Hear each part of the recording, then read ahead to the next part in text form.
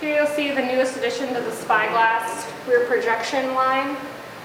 This is the MACtac Glass Movie rear projection film. Comes on a roll that's 48 inches wide. You can get as many inches off the roll as you'd like.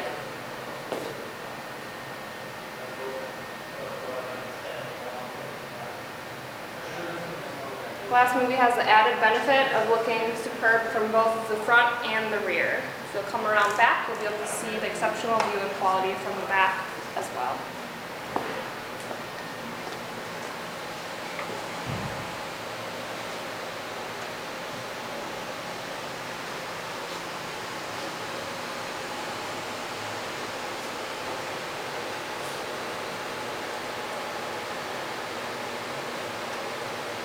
And when the projector is turned off, this film appears a silvery gray color, similar to a vinyl.